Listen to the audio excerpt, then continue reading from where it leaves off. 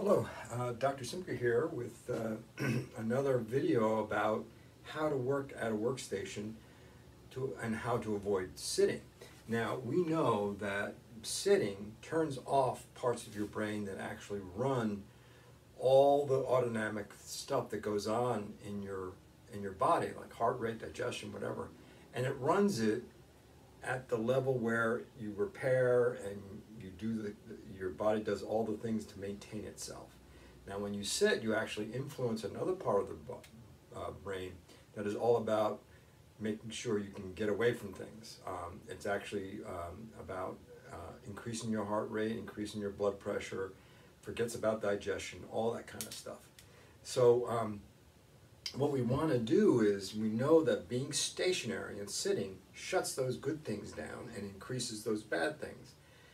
And we also know that regardless of how much activity you do in between your sittings, it doesn't seem to have a great impact on improving things. So what does that mean is that we have to do things while we're working, while we're working at a station, in order to try and improve the functioning of these parts of the brain that get shut off.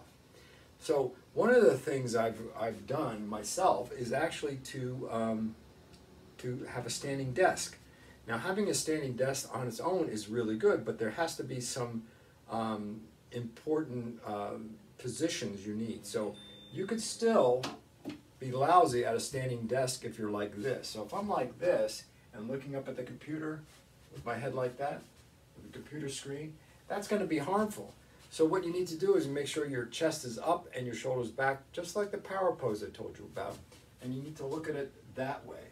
Now, when you're concentrating on things, it gets hard to keep it because your, your body starts to slouch. So what does that mean is that you have to check in um, every so often. And I recommend when you start doing this type of stuff, you, you do it every five to 10 minutes.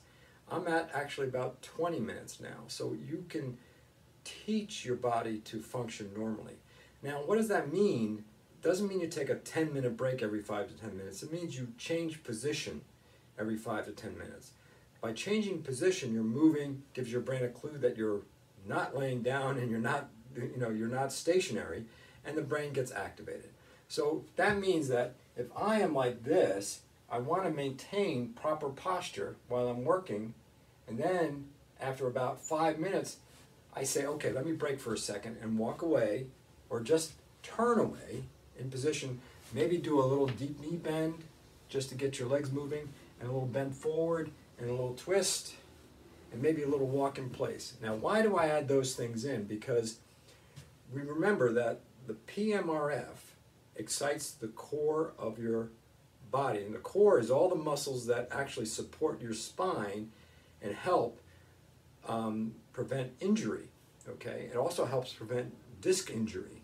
In other words, disc popping out and all this all this kind of stuff in your spine. So by doing this motion, okay, and walking in place, bending forward and twisting, all excite the PMRF and actually stimulate the core.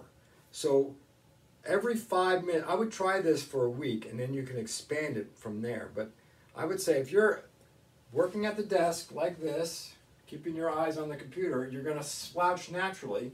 So put a timer on. I know it's got to be kind of crazy. It's kind of hard, but we have to change the way we work and we have to make an effort to do that.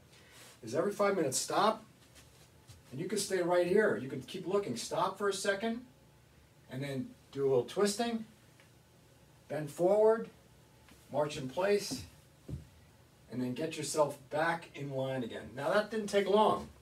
So here we are, five minutes. Here I am, five minutes. Timer goes off. I'm going to do a couple deep, deep knee bends, right? I'm going to walk in place for a couple. I'm going to twist. I'm going to bend forward, and then go back to work. We have to change the way we're doing things because sitting has caused a great deal of damage to our bodies and our brains and costs a lot of money and a lot of time of pain and suffering that we need to stop. So what does that mean? We have to hack the system. We have to do things to get our brain to work better. And that's just one way of doing it. We know that bending forward, twisting, walking in place, and deep knee bends excites your core, which excites your brain. This, staying stationary, doesn't excite your core, doesn't excite your brain, shuts it off, and gives the part of the brain that does the the uh, increasing your heart rate, increasing your blood pressure, gives that a chance to overwhelm the part that keeps things calm, digestion, all that kind of stuff. So I want you to try that for a week. Uh, I have more stuff coming down the, down the pike. So um, this is Dr. Greg, changing the way we look at health.